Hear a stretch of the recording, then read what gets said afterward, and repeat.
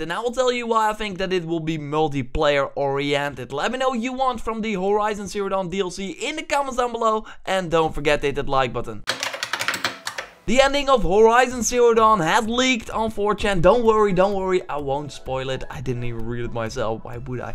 But the leaker that according to himself got to mock review the game, so that means that he reviews it, but he will not publish it. So he will share his thoughts with Sony and Guerrilla Games, so they know where they stand and what they can expect from the other reviewers like IGN and GameSpot. He also heard about DLC coming to the game. First of all, it's interesting to note that the Horizon Collector's Edition includes the game, the Aloy statue that looks pretty dope by the way, steelbook, an art book, um, a team, a PS4 exclusive team, and some outfits for your in-game character, but no mentions of a season pass. So I think it's safe to assume that the game will not have a season pass, and that's also according to this leaker. So this DLC that the leaker is talking about is probably a DLC pack that you have to buy separately.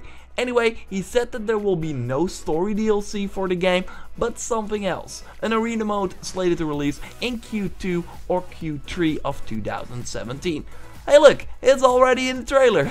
Arena mode, I think it's safe to assume that we're looking at a wave-based survival mode here, uh, where every wave has new enemies that come to attack you, and in wave 5 there will be a boss enemy, something like that. The longer you survive, the higher your score will be, and maybe you can share that to a leaderboard that you can also show to your friends. Or maybe you could do this arena mode with your friends. I think that that's not a weird idea at all. We saw this recently with Rise of the Tomb Raider that got an endurance mode, where you had to survive with a co-op buddy in a forest, while the main game obviously is a single player game. Wave-based modes are pretty cool, but way more fun when you're playing with a friend. Uncharted 4 had a co-op wave-based mode as well, and that game is also mainly a single player game.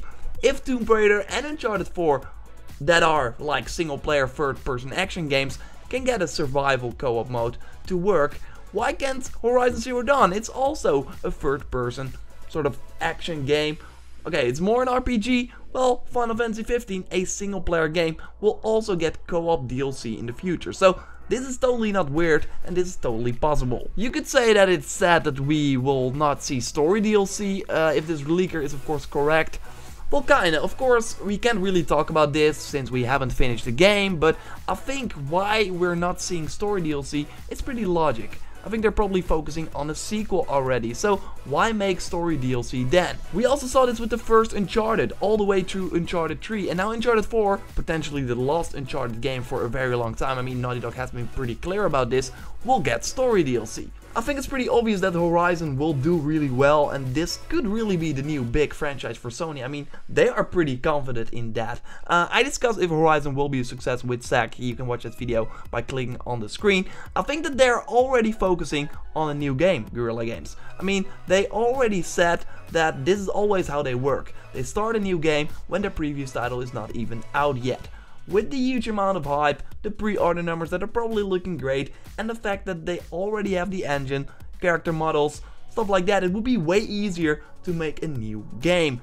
That would probably cost them two years if we're looking at the like Killzone timeline as well. This sequel will expand the story, so why make story DLC then? It doesn't really make sense. An arena mode though does, because it won't continue the story and won't cost as much development time as a story expansion would. Just put enemies that are already in the game in an arena, balance it a bit and let the player have fun the co-op part would be interesting because they might experiment with this arena mode now, learn and use that knowledge for the new game.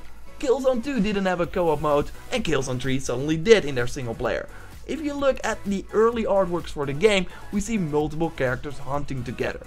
It could totally be that Horizon will have some sort of co-op in the future and that the DLC arena is just the beginning. Right now nothing is confirmed regarding the Horizon Zero Dawn DLC, this is just a rumor, but I think an arena mode is totally possible. It's in the trailer like I already said, maybe even a co-op arena.